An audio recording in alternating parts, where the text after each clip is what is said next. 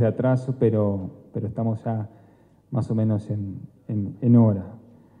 Buenas tardes. Eh, para EDUI 21 es, es, un enorme placer eh, acompañar esta presentación en torno a, la propuesta de, de Singapur, dentro de lo que es la propuesta de enseñar y aprender, que nosotros hemos desarrollado en estos últimos años particularmente como, como hemos hablado, la necesidad de formar un, cuerpo de docentes que acompañe los procesos y que protagonice los procesos de, transformación educativa. Y en este proceso, donde estamos haciendo actividades en Montevideo, en el interior, la presencia hoy en torno a, de Joy Tan es una instancia más que como organización queremos acompañar en el sentido de que está presente una experiencia particular, una visión particular de transformación del sistema educativo. La magíster Joy Tan ha asesorado directamente a los gobiernos de Chile, de Singapur y de Estados Unidos, de distintos estados de Estados Unidos, en los procesos de transformación educativa. Su, su presentación va a ser relatar la experiencia de particularmente ubicarnos cuál ha sido la importancia de la educación en Singapur y cómo este proceso, cómo ha acompañado un modelo de desarrollo determinado. Y en ese sentido nos parece fundamental, así como nosotros hemos acompañado la presencia de otros actores tan importantes como Bernardo Bleckmar, ahora viene, en los próximos meses viene Axel Rivas a hacer presentaciones en, en la Comisión de Fomento de Punta del Este, en torno a, miradas externas sobre los procesos educativos, bueno, la presencia de TAN nos parece importante como una, un aporte más a la discusión. En lo que decimos siempre que no es la construcción de, de homogeneidades, sino la construcción de distintas visiones a los procesos educativos.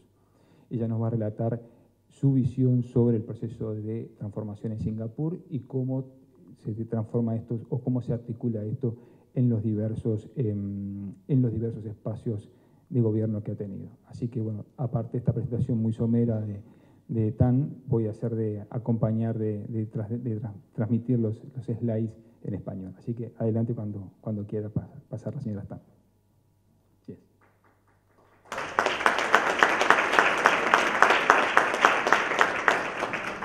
Gracias. Mi español es casi cero, así que no escuché la traducción, no sé qué dijeron.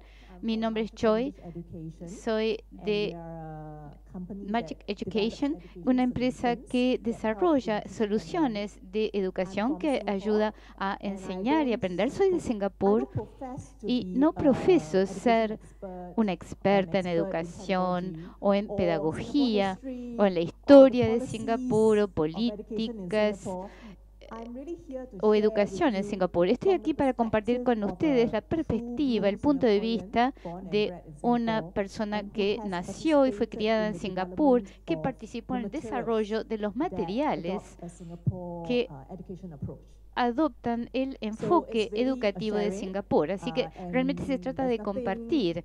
No hay nada demasiado académico aquí. Espero que sea una sesión informal. Um, Primero, hola de todos mis compatriotas en Singapur.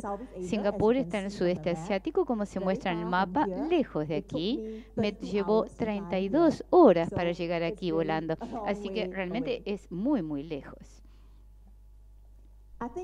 pienso que la mayor parte de ustedes están presentes porque han escuchado hablar un poco acerca de cómo los estudiantes de Singapur han funcionado muy bien a nivel educativo y en gran parte se debe a ciertos estudios internacionales muy populares que se han hecho prominentes en los últimos años. Uno es el TIMS, que es tendencias en el estudio de métodos de estudio que ah, eh, es en el área de matemáticas y ciencias. Se hace una vez cada cuatro años y se toma una muestra al azar de estudiantes en todos los ah, países.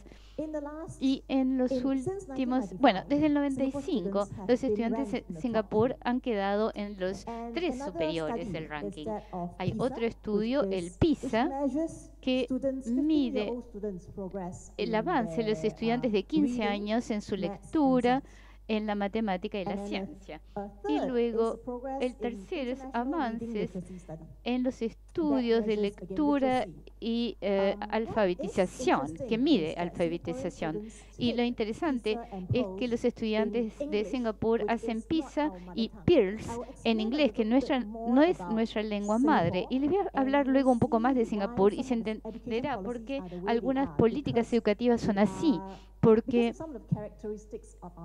eh, eh, debido a ciertas características de nuestra nación. Creo que otro motivo por el cual Singapur ha sido, um, bueno, Acá fotos que quizá hayan visto o vean de Singapur cuando se la publicita en uh, folletos turísticos. Singapur también ha estado en las noticias últimamente porque el presidente Trump y el presidente Kim se reunieron ahí por la gran seguridad, la buena seguridad que hay en Singapur.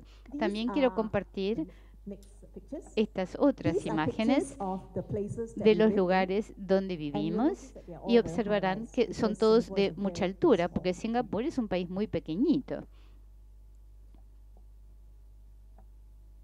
Singapur es, como les dije, muy pequeño. Estamos justo en la puntita de Malasia. Y muchas veces nos llamamos el pequeño punto rojo porque realmente somos un puntito en el mapa. Solo nos ven como un puntito. somos tan pequeños como eso. Al igual que Uruguay, somos, eh, tenemos una pequeña población. En nuestro caso es 5 millones. Tengo entendido que Uruguay tiene menos población aún, pero en cuanto a superficie, bueno, son casi 20 veces más grandes que nosotros. De una punta de Singapur al otro, de este a oeste, nos toma apenas 45 minutos en auto. Y si no, caen al mar. Así que somos muy pequeñitos, por eso verán que todo es para arriba, porque la tierra es muy preciosa, muy cara para nosotros.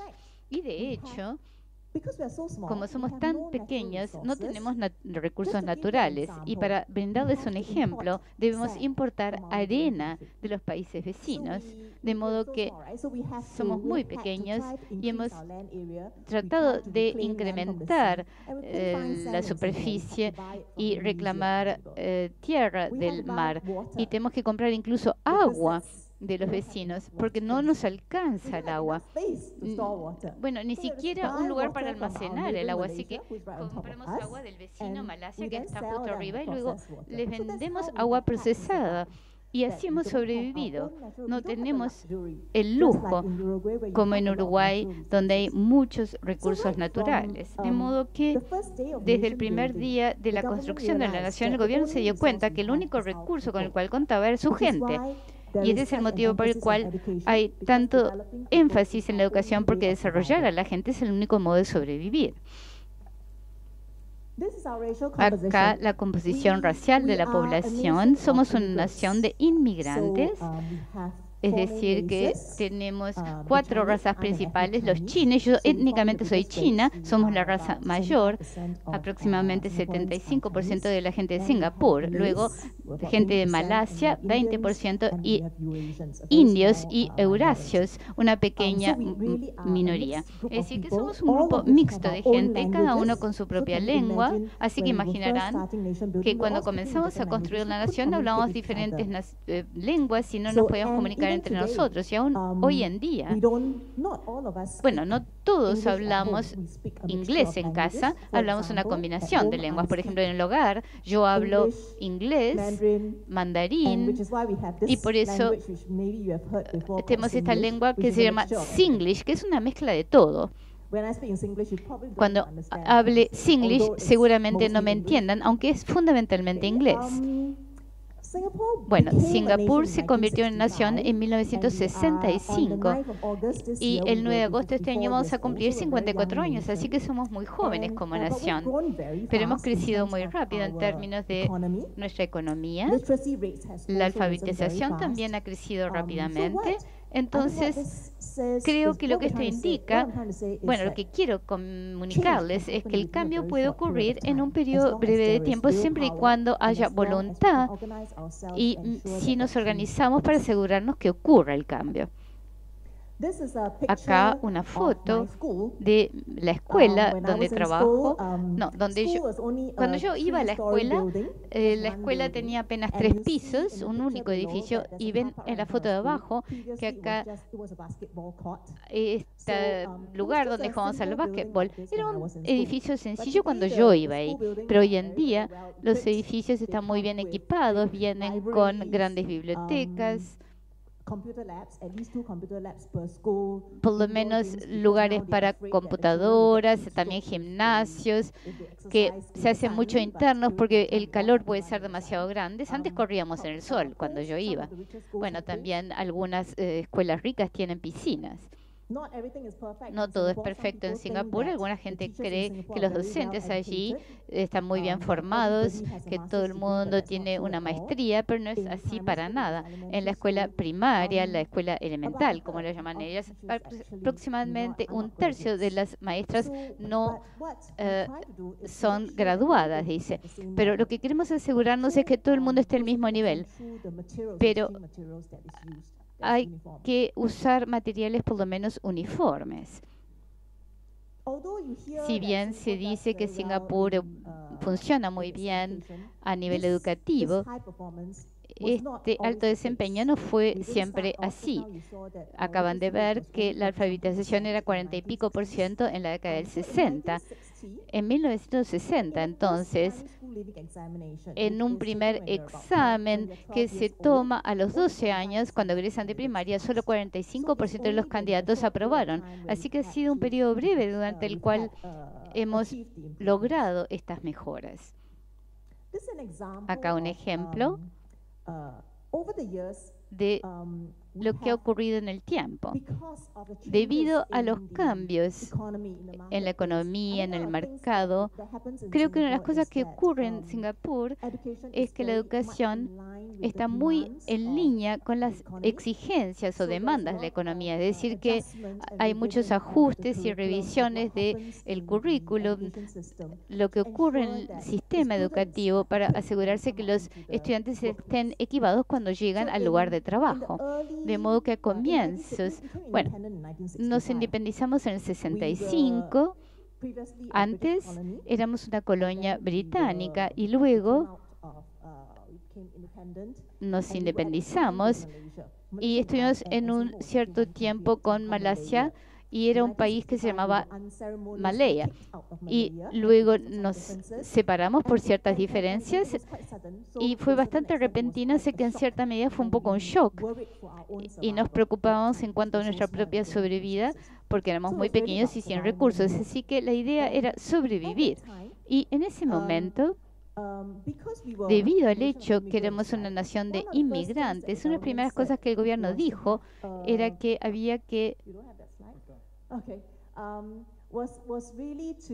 utilizar la lengua inglesa como educativa, como forma de instrucción. Entonces imaginarán cuánta resistencia hubo en ese momento, porque somos todos inmigrantes, todos hablamos en nuestros dialectos y lenguas, en tamil, malayo, y repentinamente, bueno, y ni siquiera somos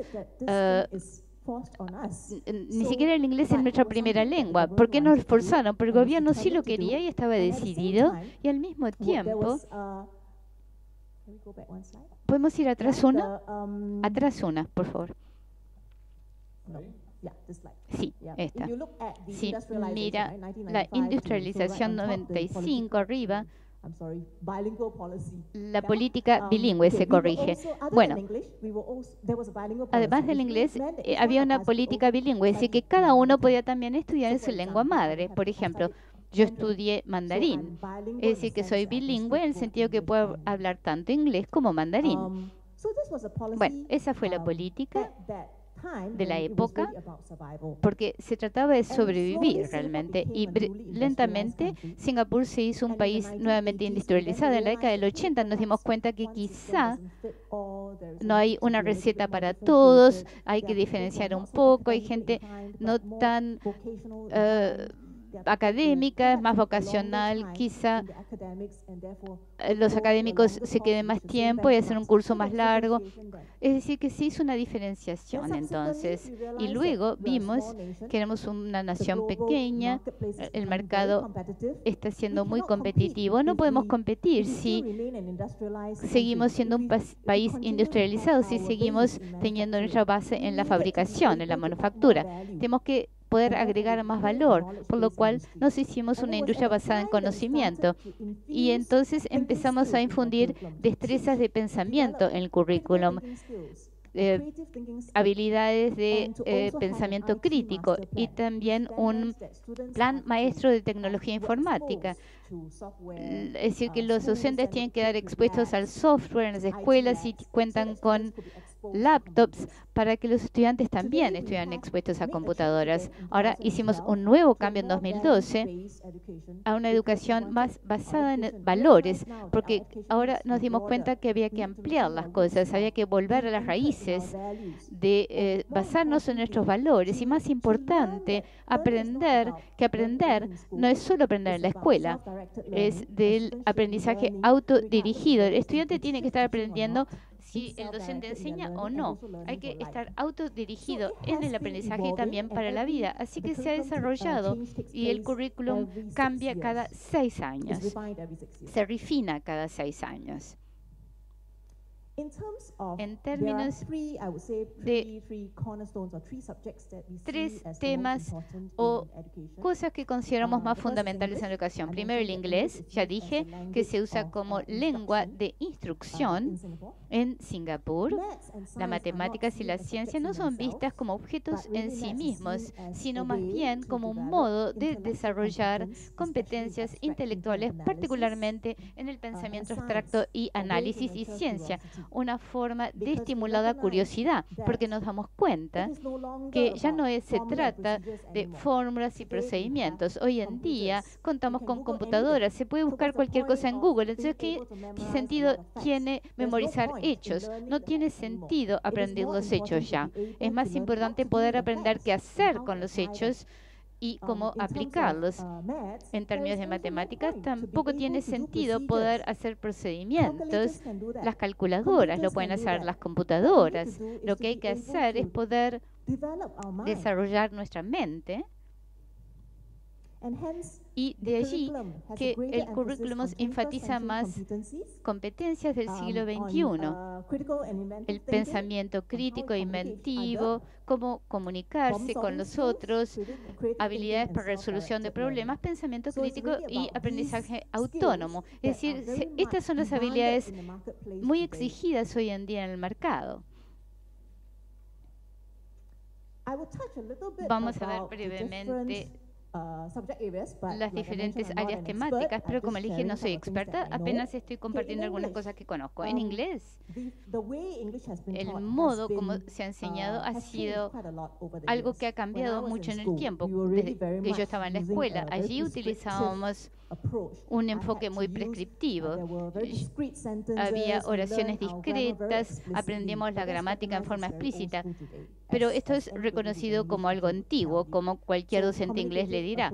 Es decir, que los enfoques comunicativos se usaron ya en el 2000, pero también se sabrá que Singapur, como ajusta las cosas según las necesidades. Y como no son, es nuestra primera lengua, nos damos cuenta que el enfoque comunicativo se inmersa al estudiante, esperando que se comunique, esperando que entienda lo específico de la lengua no, no funciona. Así que lo hemos amortiguado y equilibrado este enfoque con instrucción explícita, incluyendo gramática y vocabulario. Así que el estudiante, si bien utiliza el enfoque comunicativo, igual sigue aprendiendo gramática en forma explícita. Y esto nos ha ayudado bastante. Bueno, yo vengo de la industria editorial y les diré que los estudiantes que nacieron en determinado periodo y que ah, se educaron en cierto periodo no son tan buenos en gramática porque no se les enseñó en forma manifiesta ciertos puntos de la gramática, pero hoy en día lo hemos ajustado para poder mejorar la lengua.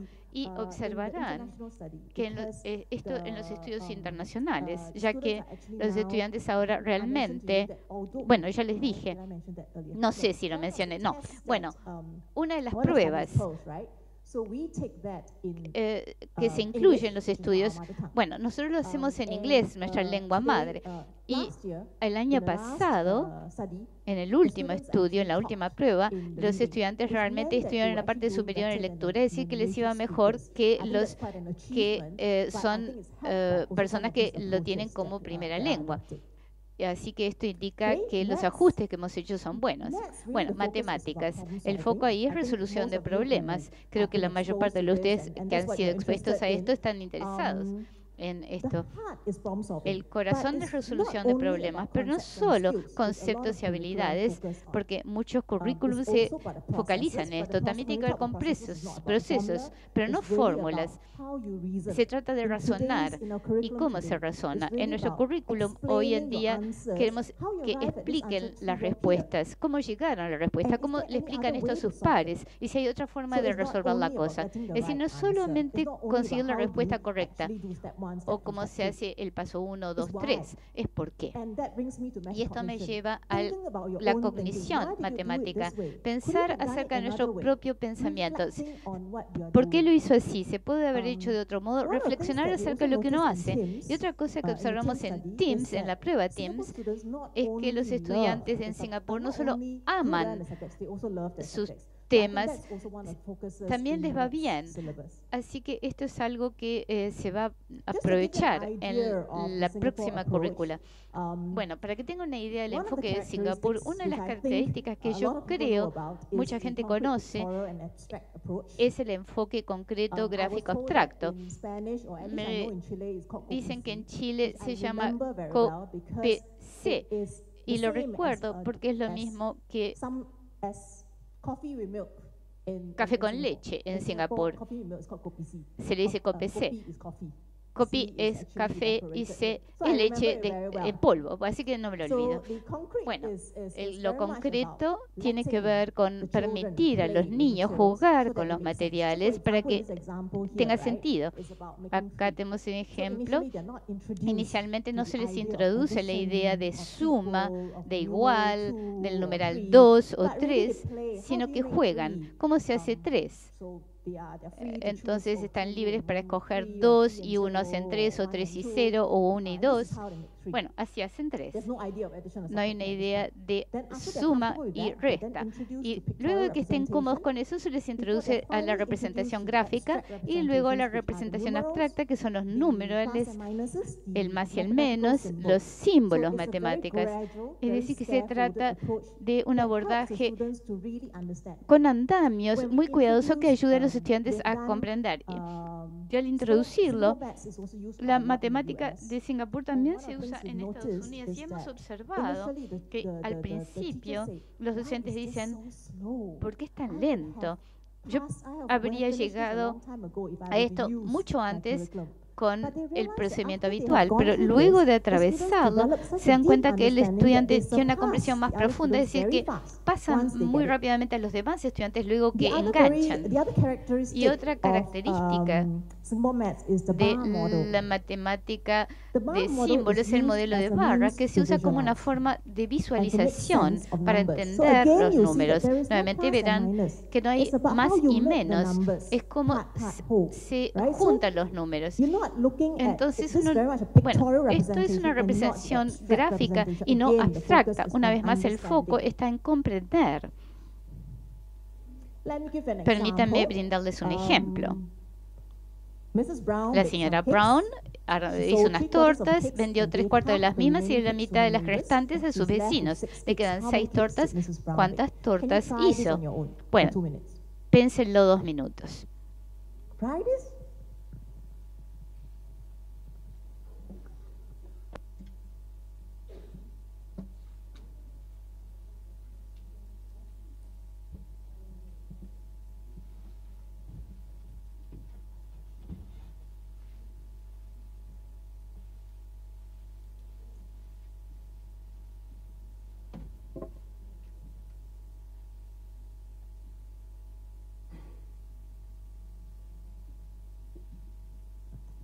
Bueno, cuando yo iba a la escuela, solo podría haber resuelto esto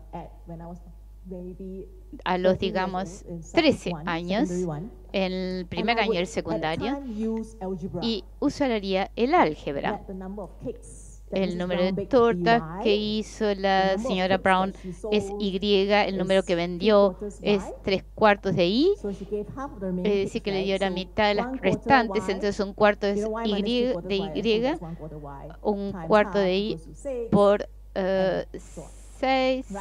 Bueno, quizá de ese modo la mayor parte de ustedes lo habrían hecho. Pero hoy en día, por este modelo de barras, hay otra forma de resolverlo. Entonces, permítanme mostrarles cómo. Si dibujamos una barra mostrando el número de tortas que la señora Brown hizo, y luego del total que hizo vendió tres cuartos, es decir, tres de cuatro barras. ¿Sí? Bien. Y le dio la mitad de las restantes, así que de la última parte dio la mitad. Se quedan con seis, es decir, evidentemente esta última parte que queda aquí. Entonces, sí, una de las cuatro partes se divide en dos partes iguales, significa que el resto también pueden ser divididas. Entonces, lo que esto significa, ¿cuál es el número total de partes? Es decir, una parte, una unidad es 6. 8 unidades es 6 por 8, 48. ¿Se obtiene la misma respuesta? La señora Brown hizo 48 tortas. Algo así entonces puede hacerse en el tercer grado comparado con mi época, donde yo solo podía hacer el séptimo año, que vendría a ser el primer año de liceo. Y observarán que el modelo de barra no depende tanto. El foco no es tanto en el procedimiento, sino más bien en comprender qué es tres cuartos. Es tres de cuatro partes iguales que es la mitad, es una de dos partes iguales. Es decir, que el foco de los chicos está en comprender qué es la fracción y no tanto cómo se hace, cuál es el paso uno, etcétera. Y luego los docentes hoy en día tienen otras formas, por supuesto, de resolver el problema. Entonces los chicos pueden probar diferentes formas de resolución. Bueno, otras características de la matemática de Singapur, la cognición matemática la metacognición, monitoreo del pensamiento propio. Quizá le pueden preguntar a los chicos que expliquen por qué resolvió las cosas de, determinado modo, que lo compartan. Y uno podría preguntar, ¿piensas que lo pueden hacer mejor de otro modo? o haciendo alguna otra cosa? Bueno, el abordaje en espiral, nuevamente, otra característica clave. Observarán que el enfoque matemático de Singapur no enseña todo de una vez. No enseñamos la fracción en un módulo, decimales en un módulo. Lo enseñamos en forma repetida en el tiempo, pero con un nivel de complejidad creciente. Por ejemplo, la fracción puede enseñarse o introducirse inicialmente en el segundo año. La idea de fracción, que es una fracción. Y quizá en el tercer año se puede introducir digamos, la suma y resta de fracciones. Y luego, el tercer uh, año, no, se corrige el cuarto, multiplicación y división. De modo que el mismo tema se repite uh, y revisa en diferentes niveles con un nivel de complejidad creciente. Y esto significa que el chico tiene la oportunidad de revisar su propia comprensión y corregirla en el tiempo. Y por tanto, realmente se torna en maestro del tema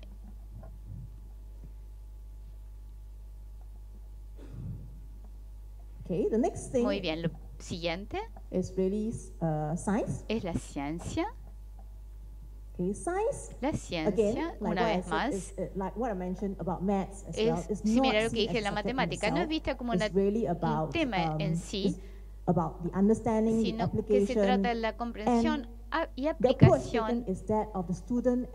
Y el estudiante se considera como un indagador y el docente como alguien que puede ayudar, el líder de la indagación. Porque si no se puede googlear, hay que alimentar la curiosidad y la capacidad de descubrimiento. Utilizamos el enfoque de indagación, pero es más bien una guía de indagación.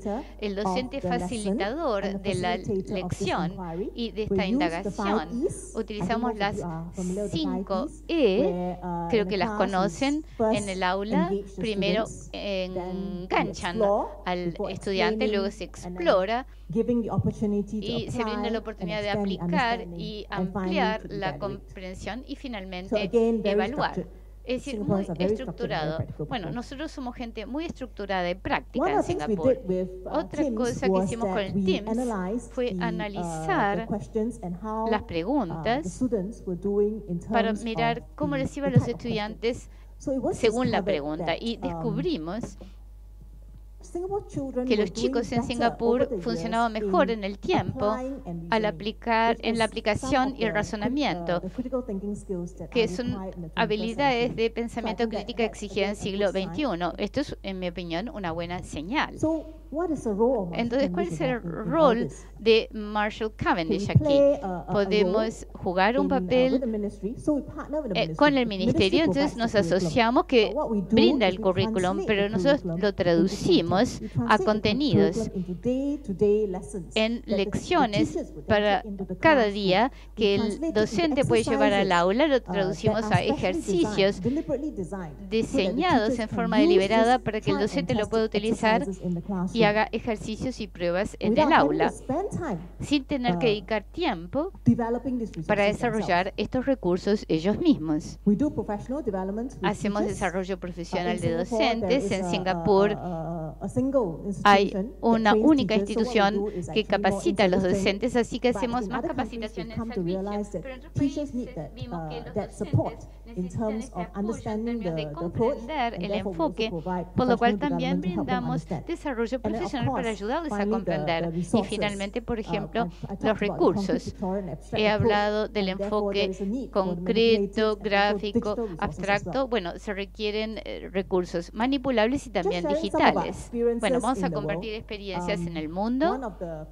Uno de los lugares donde primero comenzamos a compartir el enfoque de Singapur fue Estados Unidos y hoy en día estamos en eh, los 50 estados. Tenemos más de 10.000 escuelas que están siguiendo este enfoque. Y comenzó chiquitito, con una persona de Singapur que se casó con un norteamericano y que estaba ayudando a su propio hijo usando los libros de Singapur y desde el 98, bueno, ya llegamos a 50 estados, lo cual es muy alentador para nosotros. En Estados um, Unidos, algo muy importante es que todo se basa en la evidencia, así que han hecho muchísima investigación de los materiales para asegurarse que sean eficaces. Los escuelas quieren asegurarse que todo el dinero que se gasta se use bien. Um, y este es un ejemplo uh, de un estudio de uh, eficacia uh, en Nueva Jersey. y la prueba utilizada fue en 2009 y se comparó con 2010. Es decir, bueno, esto fue en cinco escuelas y se subdividieron en dos grupos. Uno usando el material de focalización en matemática, que usa el mismo material de base que otros utilizados aquí en Uruguay. Y al comienzo de 2009, los dos grupos empezaron con el mismo porcentaje de estudiantes en niveles avanzados de capacidad, es decir, que eran um, bastante buenos. Pero al final de 2010, lo que observaron fue que hubo un gran incremento del número de estudiantes que en niveles de capacidad avanzada usaban, eh, estaban a más alto nivel cuando usaban nuestros materiales. Y algo muy llamativo es que uh, en el grupo que tenía capacidad parcial, bueno, eran estudiantes que estaban luchando. Comenzamos con un porcentaje similar de estudiantes, 18, pero al final del año el número de estudiantes que estaban luchando cayó enormemente en el grupo que usaba el material de Marshall Cavendish. Y había un grupo control donde también hubo una caída, pero fue más leve. Y creo que esto se repite en muchos estudios de eficacia realizados, ya sea con un programa piloto o en vecindarios eh, de mal desempeño, estaba claro que había algo en el material que era eficaz para ayudar en los estudiantes más avanzados, pero también en los que tenían dificultades. Más cerca de casa, hemos introducido estos materiales. Bueno, en Chile hemos comenzado con los materiales en inglés, son los mismos que se utilizan en Singapur. Y luego en 2011-12 hicimos un piloto con el ministerio con 300 escuelas. Les voy a mostrar un video. Es usted.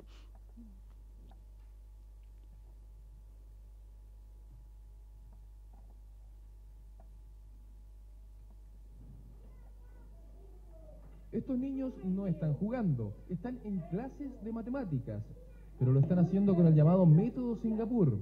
El sistema usado en el país asiático es reconocido como la base de su éxito en las evaluaciones internacionales de aprendizaje y ahora Chile quiere implementarlo en la educación pública. Queremos tomar la ruta de un país que ha sido muy exitoso en matemáticas y que en los últimos años logró estar en, un lugar top en el mundo, adaptando los textos de matemáticas de Singapur, que obviamente son más largos, más complejos, y con una metodología muy distinta a los textos chilenos. En Chile ya hay establecimientos que han implementado este programa, como el Colegio Dagoberto Godoy en la Comuna del Bosque. Alumnos de primero y segundo básico ya interactúan con este sistema. Las matemáticas podrían dejar de ser una tortura para muchos de los alumnos con la implementación pública del método Singapur. Este programa trata de incentivar la deducción en los alumnos para que estos no se enfoquen tanto en la fórmula, sino más bien en los ejercicios. La utilización de elementos visuales y didácticos es la clave de este aprendizaje. Me gusta aprender y estudiar. ¿Sí? ¿Y aprender matemáticas con estos artículos te gusta? Sí. Y trabajan con material concreto para después pasar a lo pictórico y a lo abstracto, que es la base del método. Es aprender con la tía, que ella me enseña a aprender. Por eso trato de aprender con mi tía. Con un buen material que se haga una buena base para lo que viene. ¿Mm? Así que súper novedoso para ellos. Les gusta porque aprenden jugando. Serán 42.000 alumnos de 300 establecimientos, los primeros que podrán participar de este programa con el objetivo de elevar los pobres resultados de mediciones como el CINCE. Carlos Fernández, CNN Chile.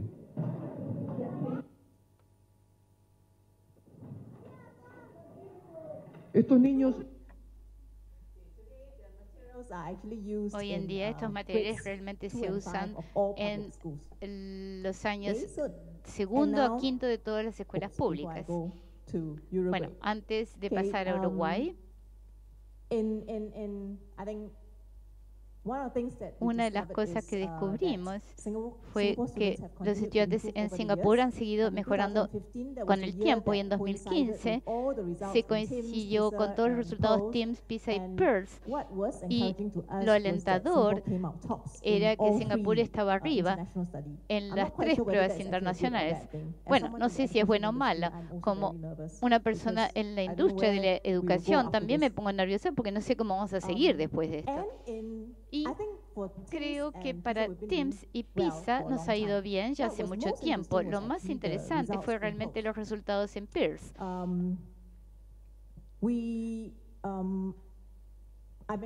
Dije que pocos de nosotros hablamos inglés en casa, en el hogar. No obstante, cuando hicimos el estudio en inglés, que no es nuestra lengua madre, comparado con otros padres que sí hacían el estudio en su lengua madre, bueno, a los estudiantes de Singapur les fue mejor incluso que a los nativos de la lengua. Y algo alentador es que más de un cuarto de los estudiantes llegaron al nivel avanzado internacional. Es decir, que tienen un nivel muy avanzado de habilidad. Y 3% lee con dificultades. Es decir, que seguimos teniendo estudiantes con menores habilidades, pero esto es mucho menos que el promedio internacional. Así que fue muy alentador para nosotros y de hecho se trató de un resultado muy estimulante. Bueno, ahora en casa. Hemos trabajado en Uruguay desde 2014 con nuestra socia Avista y Hemos tenido formación de docentes en este método y enfoque. Hasta ahora los docentes se han entusiasmado mucho con cada capacitación. Y una de las cosas que hemos descubierto al conversar con la gente a vista es que hay una característica común de los docentes que han seguido la metodología, ya sea en Estados Unidos, Chile o Uruguay.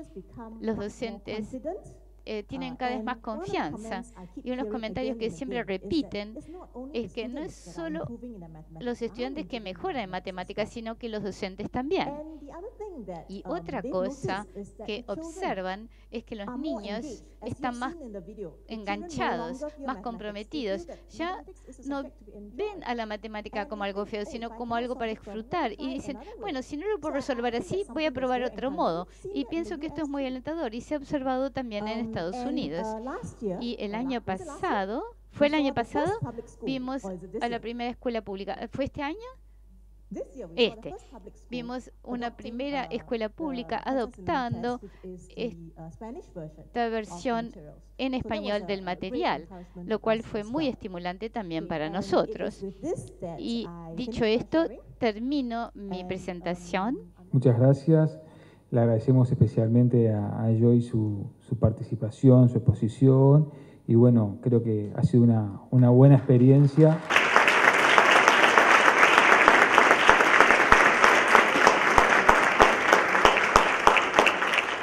para compartir una, una realidad tan, tan interesante para todos nosotros. Bueno, muchas gracias. Nos vemos en el próximo encuentro.